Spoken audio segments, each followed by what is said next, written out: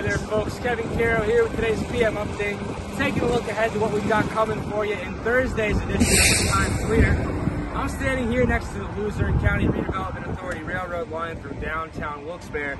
A few blocks away from here on the Conyngham Avenue crossing, a locomotive struck a tractor trailer earlier this morning. My colleague Ed Lewis has the details on what happened as well as the aftermath of the crash.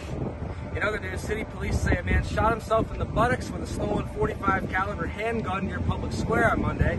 Ed will have the details on that case for you as well. Bill O'Boyle will tell us about students participating in the Luzerne, Wyoming County System of Care program who prepared meals for other students from families in need. And in Lifestyles, we'll have a cold cucumber soup recipe for you in tomorrow's edition of the Times Leader Test Kitchen. All of that and more in Thursday's Times Leader. And remember, folks, if you're not already a Times Leader subscriber, all you have to do is call 829-5000 or head on over to timesleader.com slash subscribe. That's all for now, folks. Thanks for watching. Enjoy the rest of your day.